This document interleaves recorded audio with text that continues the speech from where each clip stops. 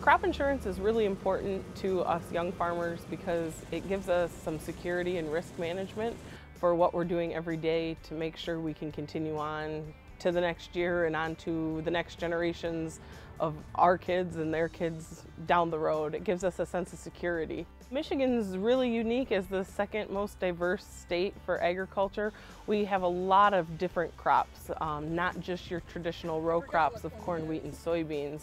Uh, we've got the fruit, the cherries, the apples, the peaches. We do tons of different vegetables from tomatoes to peppers um, and everything in between. And and that's where we really lack on a, a, solid crop insurance. It's just not available for the specialty crops, and, and that's something that you know we're looking and hoping that we could be expanded to protect everything and not just those traditional row crops. The Farm Bill in general is important to, to happen now for us to give us a sense of stability. Right now everything's up in the air and you know, yes, everyone's going to continue to plant and grow like they have for years and years, but I mean, you want that sense of security knowing that once I put that seed in the ground, I'm not putting my whole life and everything into it and if nothing happens, if the weather doesn't allow it to grow, that I'm not out my what my family's been doing for four generations and lose everything tomorrow because of the weather. It gives it just just that little bit of security.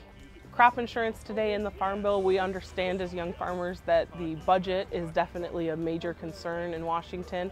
And with um, the Farm Bill, there's definitely cuts that can be made. The direct payments and a lot of the conservation programs are outdated and the ability to conserve them down to a few less and and push the crop insurance more is where we as producers like to see uh, the money spent and we understand that everything has to take some sort of cuts when we're in a budget situation but to make sure that it is conducive to our program and that we're not taking more cuts than necessary to the farm programs because everyone likes to eat.